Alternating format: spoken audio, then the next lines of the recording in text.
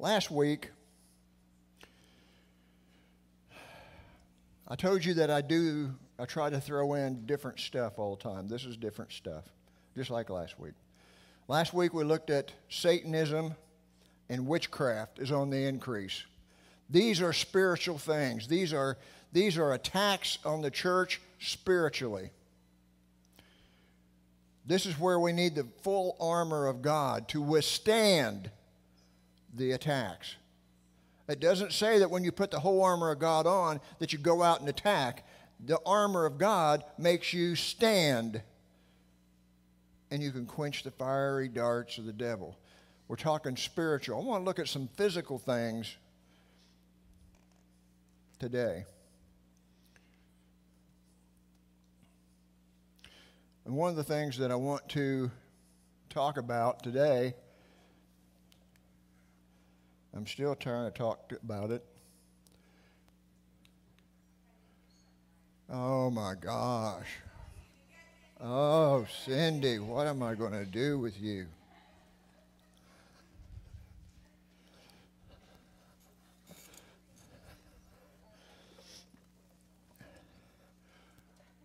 Okay.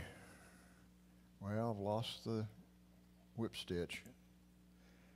Aha, there's the problem.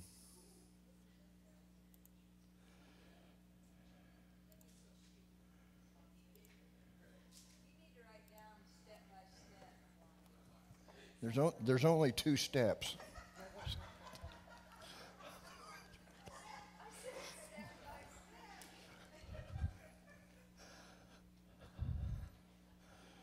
Well, good morning this morning when she was, no, never mind. Ta da!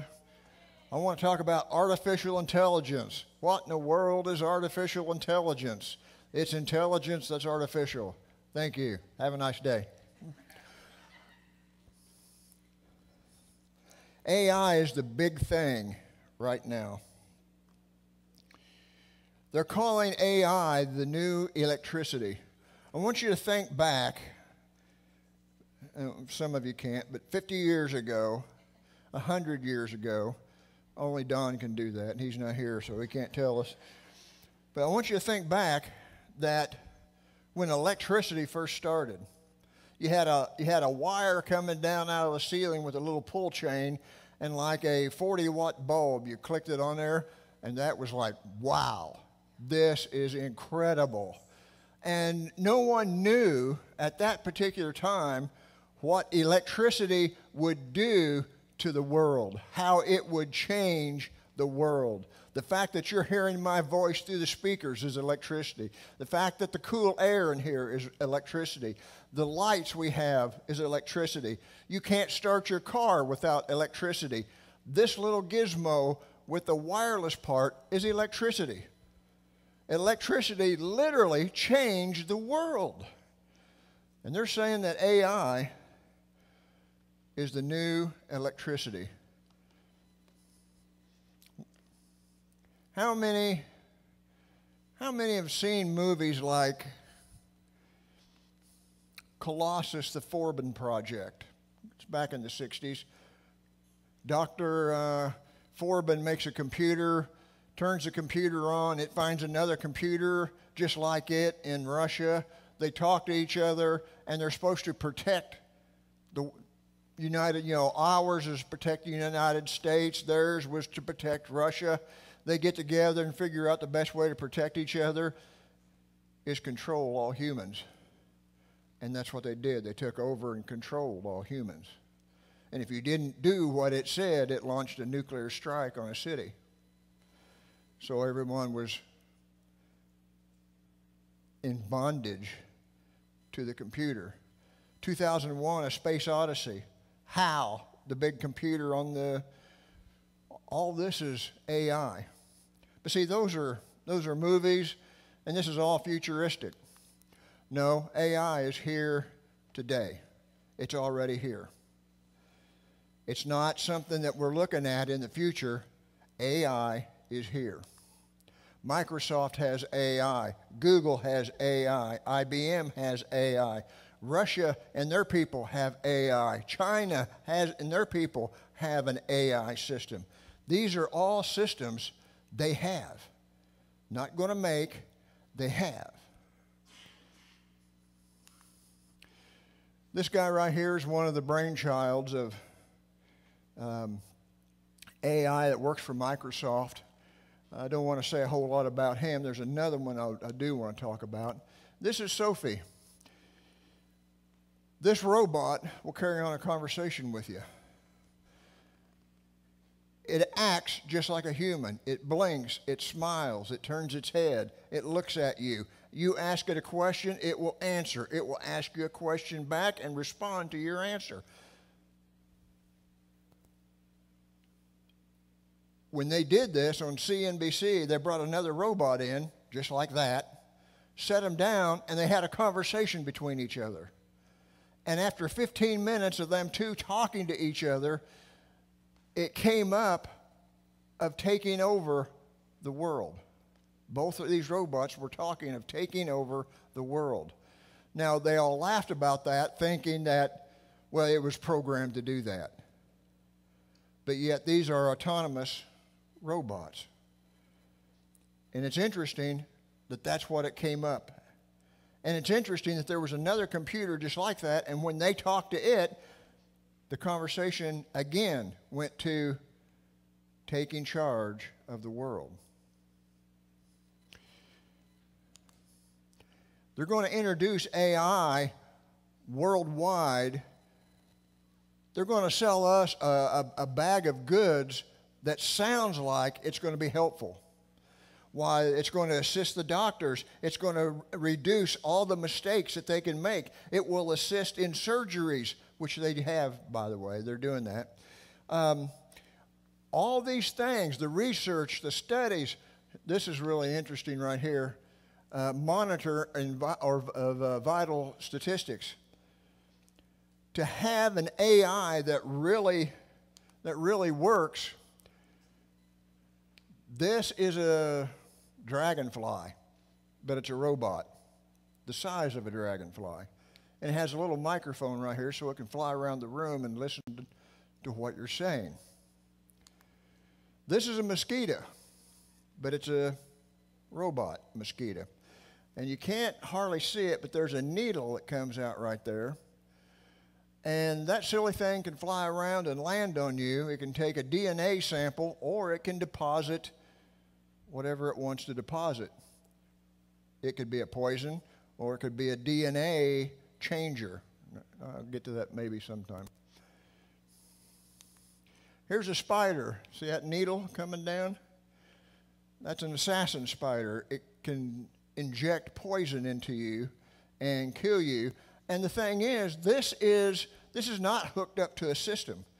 The system is in it, which means it's autonomous. It thinks on its own, and when they use these in testing, the spider couldn't make it up a stairway or something.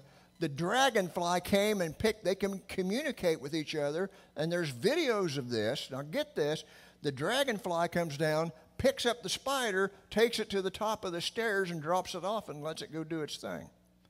They communicate with each other. To have, here's a fly that has a camera and a microphone on it. This can fly around the room, land on the wall, and watch and listen to what you're doing. This, this exists. This is real. And the thing is, this is what we know. What is it that we don't know that's still secret? Here's a little bitty one. It can fly around. This one's really cool. This is an assassin bot. They can take this, it's autonomous, not hooked up to anything. They tell it what they want, they program it, it has facial recognition they throw it in the air and it flies around the room. And when it re- and checks the faces, and as it's flying around and it checks the face and sees the one it wants, flies into it and has an explosive charge and detonates. This is real. They've already got this. They've already got this. Have you ever taken your iPhone?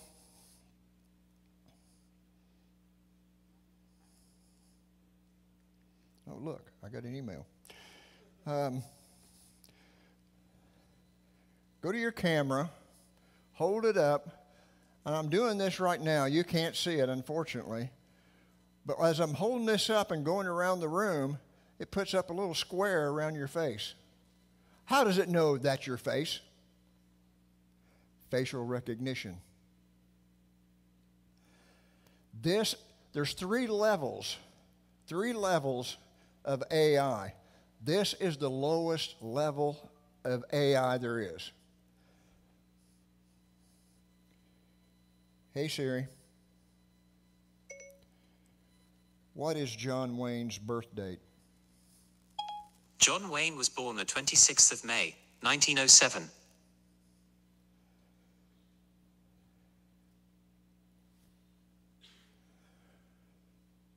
Fifty years ago, how would you have found out his birth date? Yeah, if you have an encyclopedia or you have to go to the library to get the encyclopedia. And hopefully that information would be there at that time. Because if it didn't, you'd have to go to some magazine and hopefully find that in something. It's at your fingertips now. It's at your fingertips. Hey Siri, what is the diameter of the moon? Here's an answer from wikipedia.org. At 3,474 kilometers, 2,158 miles across, the moon is 0.273 times the diameter of Earth. 50 years ago, I doubt if you could have got that information out of an encyclopedia. It's at your fingertips today. That tells me that for AI, now here, Man, there's so much. Here's another thing I want you to understand and be very cautious about.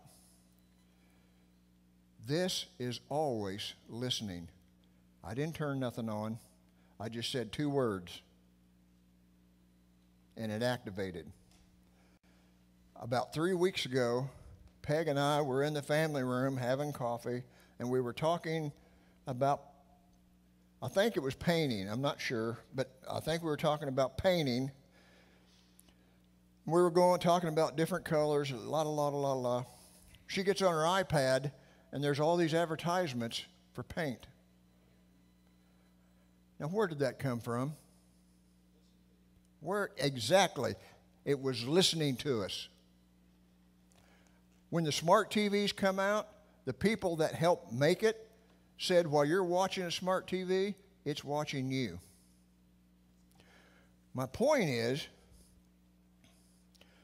is that it takes tremendous amount of data to have an AI. It takes tremendous amount of data because it has to draw from all of that. Which brings in data mining, drawing out that information, looking at patterns. Everything you do is recorded. Every time you make a phone call, the date, the time, the number, how long you made the phone call. It out of the cell towers that we see around the nation, do you know that there are towers that are not cell towers? They are listening towers. They listen to phone calls. That's what they're there for the government, Homeland Security, and NSA, and all these other super squirrel people put these things up to listen to phone calls. These are the top 10 data, data mining companies, but that, that's not all of them. These are just some of them. This is big business. There is a, there is a company out in Arizona that has a warehouse the size of this church, not this, not this room, I'm talking about the whole church. And it has row after row after row after row of computers, and the only thing these people do is put information in. Every card that you've owned, every license plate that was on those cars, every phone number you've had, every address, every town you've lived in, every job that you've had, every income tax return, everything they can find about you goes in that computer. And it's all they do is gather information on people. And then they take that. This was this. You go to um, 60 Minutes. They did a special on it. They got to look at it, the whole thing, and they sell that information to advertisers, government, police agencies, anybody that wants to pay for it. All that information. Facebook data mining scandal. 50 million users compromised from this leak. Data ripped included IDs, their friends' networks, various likes and interests from millions of Facebook users. Officials from both companies, Facebook and the one that got it, uh, has taken, when it took place, there's nothing illegal. You gave permission inadvertently when you signed on the app to agree to use it. And if you've ever played these things where you've opened up the user agreement, it's like a page of small print, and if you read it, you don't know what it said, but you want to play the game or do the thing or use it anyway, so you agree to it. All that information went to somewhere to a data miner They've got all that information your likes, your dislikes, your favorite colors, passwords. What am I saying? What I'm trying to tell you is there's no privacy. They know everything about you. Well, who cares? They can I'm not doing anything illegal, so who really cares whether or not they know anything about me? Whoopee. Well, one of these days, when the Bible becomes illegal, it becomes a hate book, and they're trying to do that. And they, they make the Bible to where it's a hate book. This book will no longer be allowed. Someday they're going to attack it and say, This is a hate book. You can no longer do this, this, this, this, this from here. And if you do, and you go against the federal government, you become a domestic terrorist. Terrorists have no rights. You can't, you can't, they don't have to give you an attorney. They can hold you as long as they want without court hearings. And this is all legal. And I've been saying this for years. They're changing laws, they're making things happen, not for regular people, for those who believe in the Lord Jesus Christ. People, these things are coming. And the reason I'm doing this is to stir us up to know what is coming. And we can get our act together and be the church.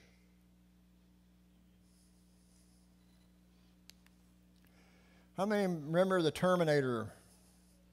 I loved it. I thought it was good. I'll be back. Yeah. I like the way the dude's smiling right there.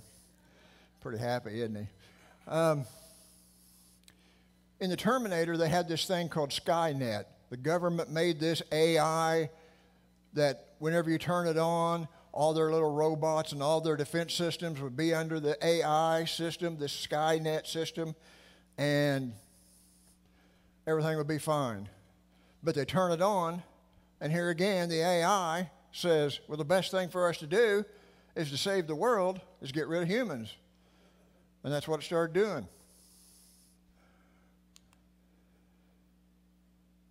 What is Project Maven? That's the Pentagon's AI project that Google employees wanted out of. They started this AI program just like Skynet and Google looked at it and said their employees, not Google as a business, but their employees said, We don't want part of this because this is made for war machines in killing. So they backed out of it. Pentagon had planned to put this in effect 2017, but when Google went out, no problem. I mean, when Google dropped out, Microsoft came in and finished it. So, in other words, we now have these are unmanned planes that is flown by AI. And you can see on there U.S. Navy. Here comes an unmanned plane flown by AI, seeing if it can land on an aircraft carrier. Did it with ease. Here's a helicopter armed to the teeth, no pilot. AI flies it. This is a, I want to say an armored personnel carrier, and it is, but it's armed and it's driven AI. Doesn't have to have a driver. Here's a tank, no driver, no people in it. Everything is operated by AI. This is Chinese. This is the Chinese version. No driver. Artificial intelligence runs it. This is Egypt's drone. AI flies it. Russia's unmanned combat aerial vehicle. Russia has it also.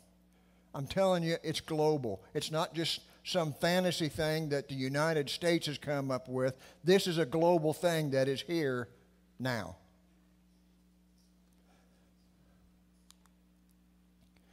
Another whoopty doopty tank. AI controls will control where you shop, the electricity you use. You know, how many of you have electric meter on your on the side of your house? And you know, the guy used to come out and look at your meter and write it down, and you'd go out and bang it and try to get it to change and do stuff, you know. And they don't have to do that now. The meter reads itself and sends it to the company. It did away with that person. It's total automated, totally autonomous. So we have bugs, this AI with this bugs flying around. The vehicles, unmanned vehicles. See, our military cannot be used. The Constitution says the military cannot be used against its citizens. Doesn't say anything about the machinery.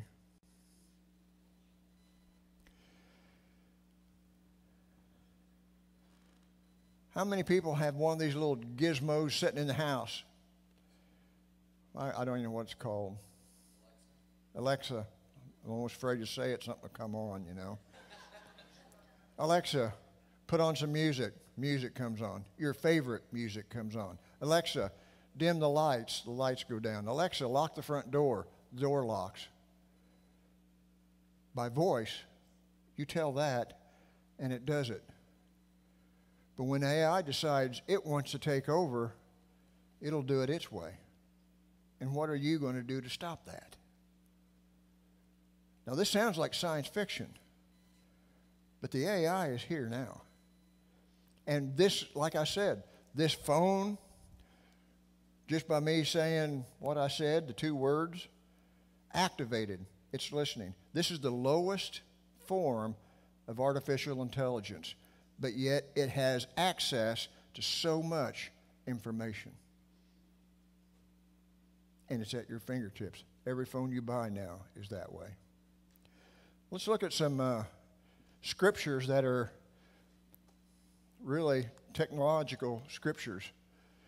Revelation 7, 11 7, talking about the two witnesses. And when they shall have finished their testimony, the beast that ascended out of the bottomless pit shall make war against them, and shall overcome them and kill them. And their dead bodies shall lie in the streets in that great city, which is spiritually is called Sodom and Egypt, where also our Lord was crucified. Sodom and Egypt is talking about Jerusalem. That tells you Jerusalem's really going to go downhill.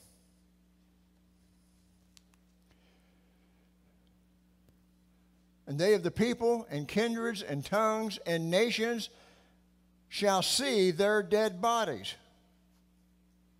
How are we, if this is in Jerusalem, how are we going to see their dead bodies lying in the street? CNN, Fox. But 50 years ago, 100 years ago, 500 years ago, you read that scripture, and we'd have to allegorize that. We'd have to spiritualize that in some way because it's a technological scripture that technology increased to where that scripture can come to pass now. Couldn't back then. 50 years ago, we couldn't see it. They'd have to go over and film it, come back, undo it, you know, put it in a thing. Now then, we can watch it live. Matthew 24, 15. When ye therefore shall see the abomination of desolation spoken of by Daniel the prophet stand in the holy place, whosoever readeth, let him understand. Then let him which is in Judea flee into the mountains. When you therefore shall see the abomination of desolation in the holy place, that's in the temple. Are any of you allowed in the temple in the holy place? No. Well, how are we going to see that? webcam, CNN, Fox. 50 years ago, that was an impossibility. Today, it can happen right now. That's possible. These are technological statements within the Bible. You know, there's another one, and I can't think of where it is right now. Talks about the, the skin melting off bodies and their eyes burn out of their head and and it, it's, a, it's an exact picture of a nuclear detonation. 75 years ago, 100 years ago, somebody would have looked at, read that, and, and sat there and went, Well, I tell you what that is. They were standing too close to the cannon when it went off. That's what that means. That's not what it means. Back then, they would have had to spiritualize it or allegorize it in some way. Today, that verse is possible.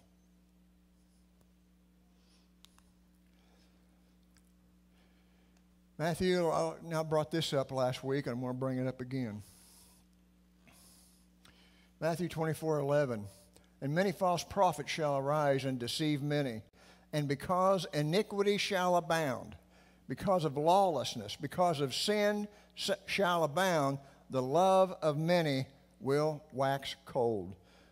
And we are seeing this today.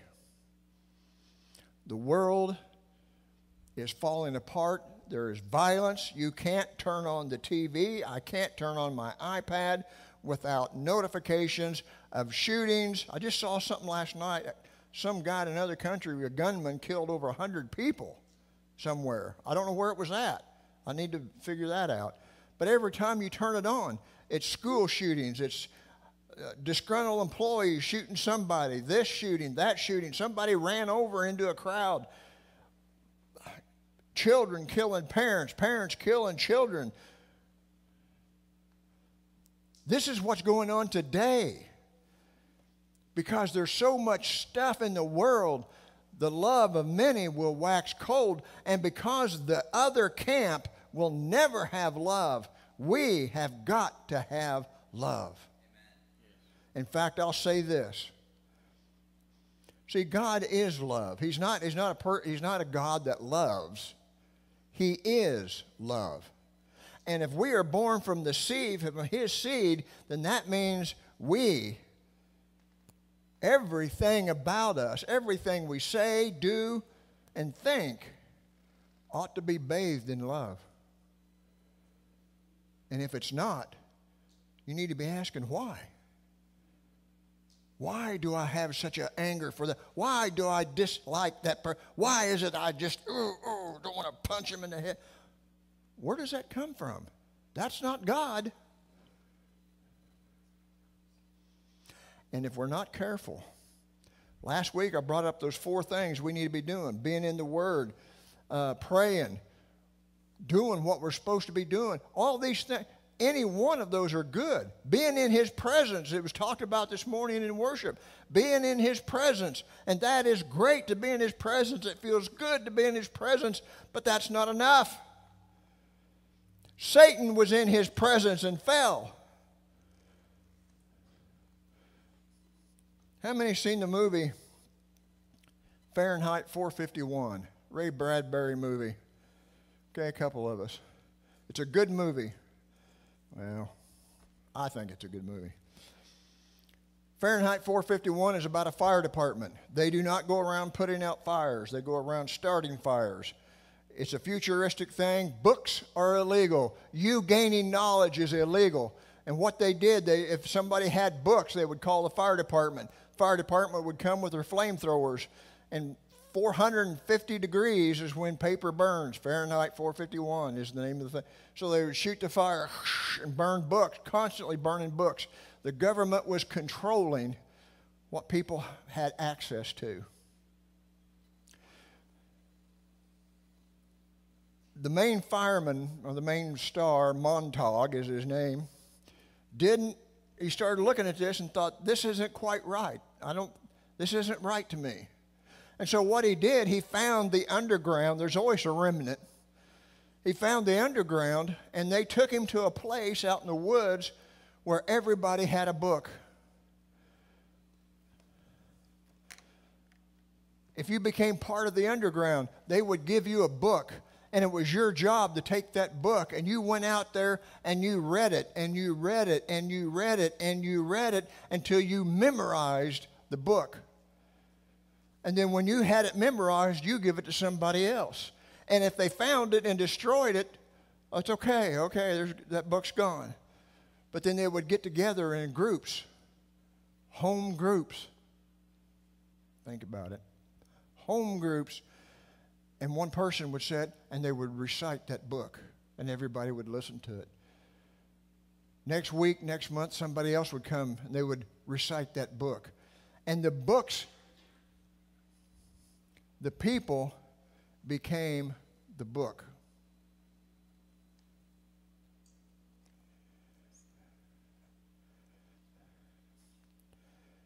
We should become the Word of God.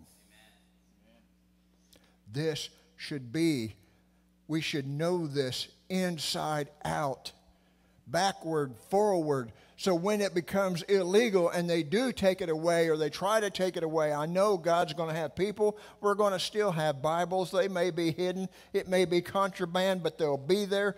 But you'll have it here. Jesus was the Word, and the Word became flesh.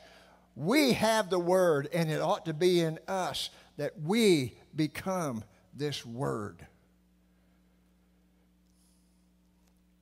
Heaven and earth will pass away, but my word will never, never pass away.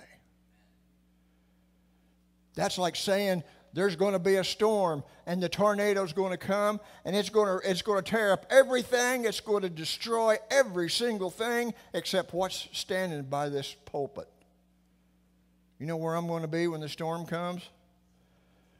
On the pulpit. And this lasts forever. This is the word of truth, and it lasts forever. So, my point of all this is this the church needs to wake up and realize can you imagine what the Antichrist, when he comes on the scene and the AI and he has all this information? Do you know there's, they have a, a, a chip now, a tracking chip that is half the size of a grain of sand. They can incorporate it into a piece of paper. They can plant it in your clothes. You can ingest it in your food. They can inject it in a virus, in a uh, vaccine into your skin, and you'll never know it's there. Half the size of a grain of sand. Everything is so small, and yet it's so powerful. This is what's happening in the world today. Last week we looked at Satanism and witchcraft is on the rise. No question about it. We see what they're trying to teach our kids in the school. Disney is not fit to watch anymore because it's all about witchcraft and spells and, and who knows what all.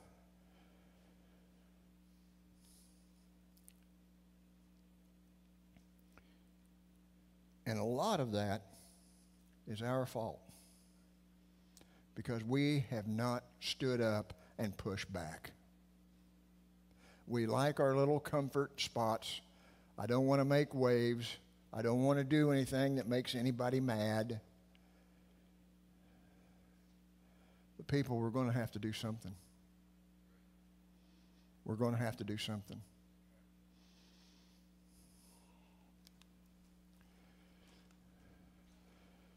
Jesus said, A new commandment that I give you, that you love one another as I have loved you. Wow. Jesus gave up everything. Let me put it this way Jesus gave up everything for you. Everything. Whatever he was in heaven before he came down, he was the Word. Whatever he was before he came, he gave that up. He is now a man and will forever be a man.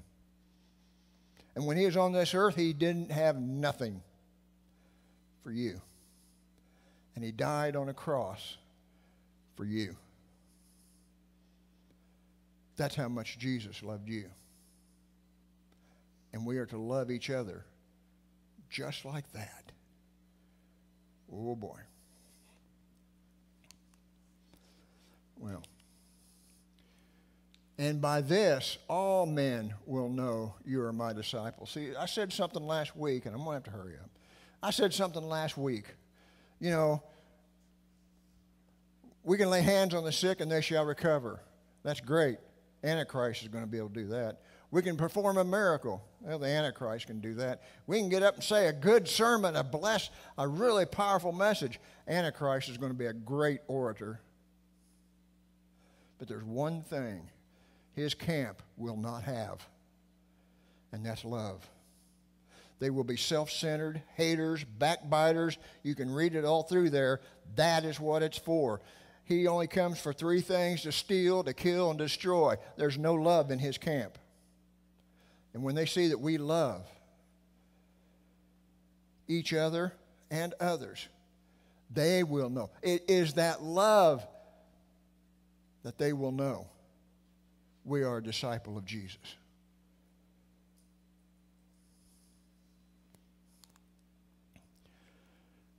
The great prostitute that rode the beast. I want to go through this real quick and I'll be done. There came one of the seven angels which had one of the seven vials, talked with me, saying, Come hither, and I will show you the judgment of the great whore that sits on the many waters, with whom the kings of the earth committed fornication with, blah, blah, blah. So he carried me away in the spirit into the wilderness, and I saw a woman sitting on a scarlet beast, full names of blasphemy, having seven heads and ten horns. And the woman was arrayed in purple and scarlet color, decked with gold and precious stones and pearls, having a gold cup in her hand, full of abominations and filthiness. Boy, she looks good. She is decked out, all that beauty, all that, all those jewels, and she is a doll. Man, you just look at that and go, woo, boy, she's got it going on. Mm-hmm. And upon her forehead a name was written Mystery Babylon the Great, mother of harlots, abominations of the earth. And I saw the woman drunken with the blood of the saints and with the blood of the martyrs of Jesus. And when, and when I saw her, I wondered with great admiration. And that word means amazement. If you look it up, it's I'm amazed, I'm perplexed. Why is he so perplexed? John just saw seven headed beasts come up out and snarling beastie things, and angels with four heads with six wings that spun around, and all this. He's seen all this crazy stuff in Revelation. This is chapter 17.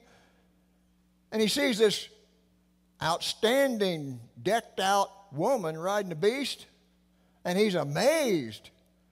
Why is he so amazed about that?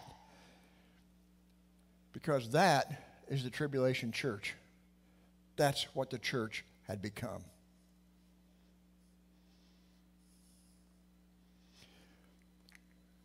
Prediction time. This is my prediction. This is not thus saith the Lord, this is thus saith the Richard. I believe in the future the true church and understand there's a difference. I'm going to say the true church and the fake church. those that go to church, those that are fake, those that are phony. I'm talking about the true church. Will always look to Jesus, will love the Lord, will do his work, call upon his name. But the fake church is going to get in cahoots with the world. It's going to be a lot of denominationalism. And they're going and the world is going to set the, the pace as to what the church is allowed to do and what it's not allowed to do. And the fake church will follow that. But they will also persecute the real church. And it's this church, the fake church, that John looked at and marveled at what in the world just happened.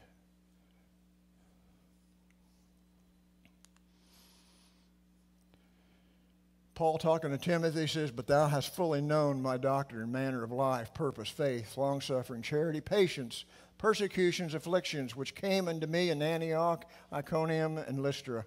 What persecutions I endure, but out of them all the Lord delivered me. No matter what we go through, people, no matter what the world does, no matter what happens, God is on our side, and He will deliver us from all of it. But we have to know what's going on. We can't stick our head in the sand any longer. We have to speak out, speak up, push back, and say no to the nonsense that's going on in the world today. And it's up to the church, it's up to me and you to do this. Amen. Amen. Amen. Hallelujah. Stand to your feet. See, the world wants to control.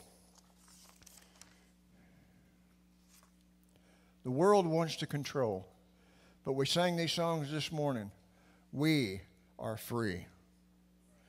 The world's going to try to control us. More and more controls are being put on us. But we, those of us who are in Christ Jesus, are free. Amen? Amen? Father, I thank you and I praise you for this opportunity to share your word, what you have been showing me, just parts of it. So, Father, I just ask right now that you stir our hearts. You stir our hearts. You stir our spirits, Lord. Let that, let that fire fall, that zeal on the inside of us, Father. To stand up and say no to those things that are wrong, to write letters to senators to change this thing, to push back as much as we can. That when you do come, you will look at us and say, Well done, thou good and faithful servant. So, Father, I thank you. Though the world may be falling apart, the church will not. We will stand, we will do, we will worship, we will praise, and we will not fear. Raise us up, Father. Stir those dead bones, Father speak life. Let the, let the Holy Spirit, the wind of the Holy Spirit, the Ruach HaKodesh flow through this place, Father God, and bring life back to us again, Father. That we will stand and we will do what you tell us to do, Father. Lord, we just uh, we thank you. I bless every person that's here today, Father God.